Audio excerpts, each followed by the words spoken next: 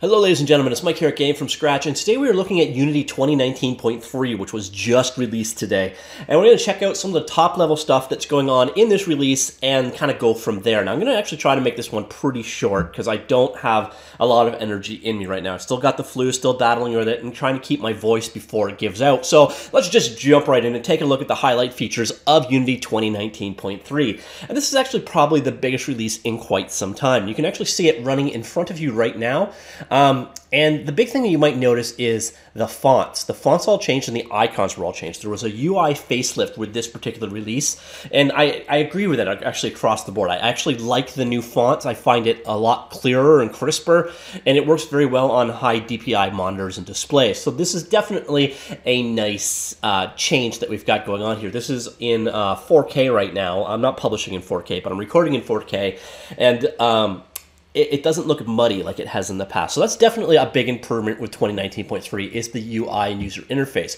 But truth of the matter is a lot of the stuff that we're going to see in this release are all right here in the package manager. So one of the things that Unity's done is moved into more of a, a decoupled mode so that they've kind of made everything package-based modular in the way that it's implemented and a ton of the most important modules are now considered verified or in other words ready for production.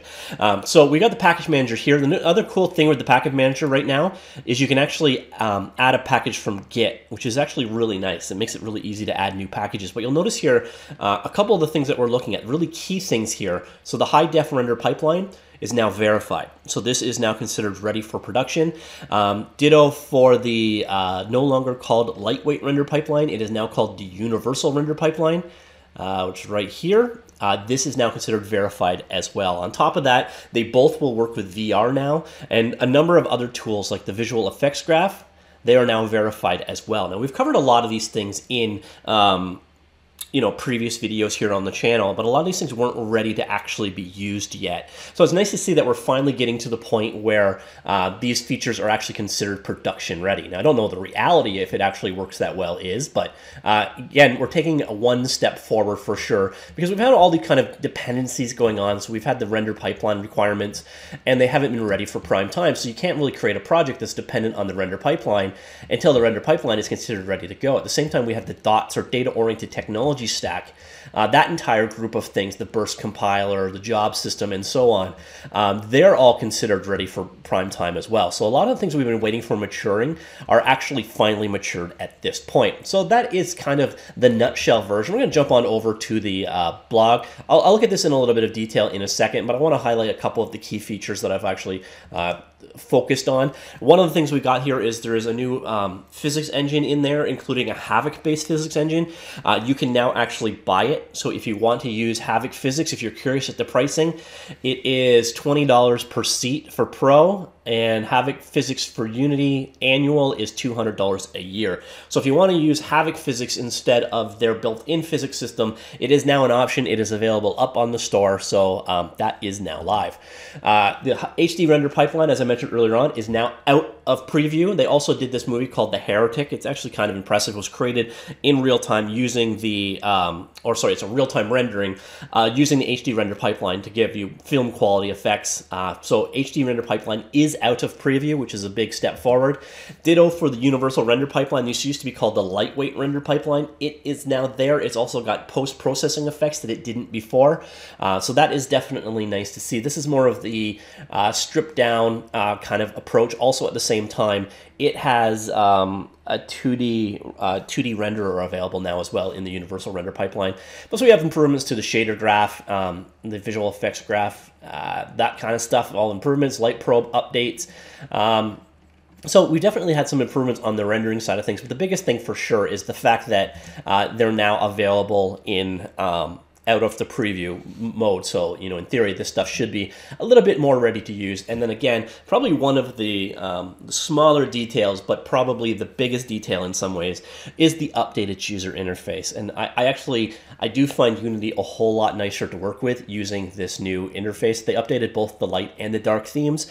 And if you're wondering, no, you still don't get the dark theme unless you buy professional or you hack the binary. Just you know, to be aware of that. So that is kind of it. The other thing that we've got going on here is the input system is available in preview. If you've used something like the Godot game engine or I think you, I think Unreal has something like this as well. It's basically a way of mapping uh, UI actions uh, or input actions to multiple inputs. So you can have the WASD keys and the arrow keys and the joystick all control the same set of movements. So you set up these aliases and then uh, you know you just use them as opposed to having to uh, you know deal with each type of input separately.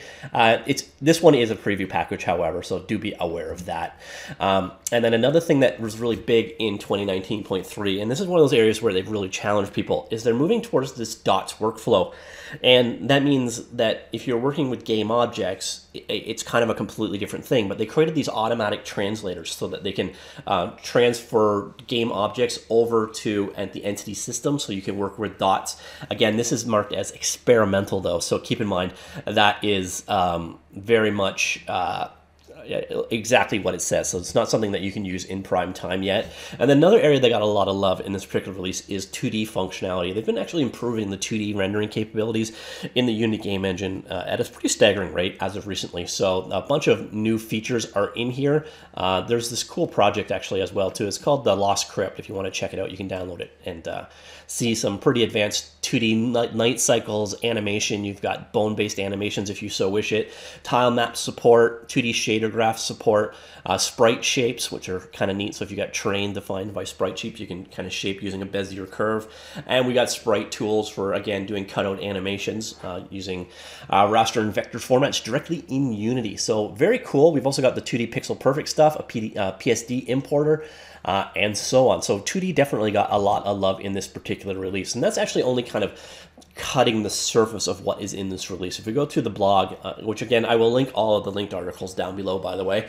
Um, we got a number of other things going on here. So we've got the new uh, terrain updates. We can now create holes, caves, and trenches in 2019.3, which is amazing because even just like Unity 2019.1, there was literally nobody working on the terrain tools. Now terrain is getting a lot of love, which is nice to see. Uh, we got dots improvements, again, the 2D improvements that we, we talked about briefly there. Uh, some tools, uh, programmers features, uh, configurable enter play mode as an experimental feature, so should change your startup speeds, which should be pretty nice that way. Uh, the physics library was upgraded to 4.1 release. Uh, again, we talked about this briefly. Uh, if you're using Dots, Havok Physics for Unity is now available via, via, the package manager, and you can use subscriptions to get a hold of that if you want to use Havok Physics instead of the Unity Physics. Uh, the render pipeline, we saw both the HD render pipeline is now mature, and the universal render pipeline, previously known as the lightweight render pipeline, are both ready for prime time, including all the tangential stuff like the visual effects graph and the shader graph. Uh, so definitely uh, a, a maturity to this release. We've definitely had a lot of improvements here. Package Manager got some love. Like I said, the ability to download things directly from Git, that's quite nice.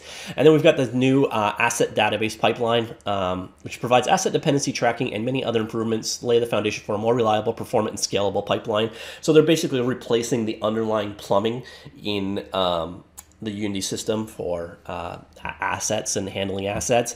Uh, when I first opened this project up, when I when I loaded this guy in, it actually did a conversion from asset pipeline one to two, and uh, it took quite a while to be honest. So uh, do be aware of that. The conversion process is a little weighty, but hopefully this new asset pipeline will make it faster to import assets and get things going and all that stuff in the future. So uh, definitely an interesting uh, development here. But the biggest thing I could say with this particular release is it's all about maturity. So finally, the lightweight render pipeline is a thing. The, the HD render pipeline is a thing. You can use both of them for um, VR development now and so on. So a lot of things that we've been waiting for to come out of experimental stage and become uh, verified are now verified. So hopefully some of the instabilities and problems that we've had of late with Unity, the, the fragility of the package systems and such, with dots and the, the render pipelines, programmable render pipelines coming to maturity, hopefully we'll see it just becomes a lot easier to work with um, the Unity game engine going forward. So there's a ton in this particular release. Nothing really shocking. This is, uh, you know, all stuff that we previewed previously on this channel, but there's definitely some really nice stuff coming in this particular release, and uh, uh, yeah, I'm I'm fairly impressed by it. Now it'll be interesting to see in reality how well these things work. You know, now that Dot is ready for prime time theoretically, and the HD render pipeline and Lightweight render pipeline are ready for prime time, is it going to make things easier to work with uh, the Unity game engine? It'd be interesting to find these things out. And I think that's where I got to end it because I am losing my voice now. Um, so again, a little bit short, and we kind of grazed over some of the stuff, but I will link the uh, full article down below so if you want to get into the details. And I've also done videos on a lot of the things that we were covered in this video, so if you want to check the channel, just search for it. I've probably done a video on each individual subject. All right, that's it. Talk to you all later. Goodbye.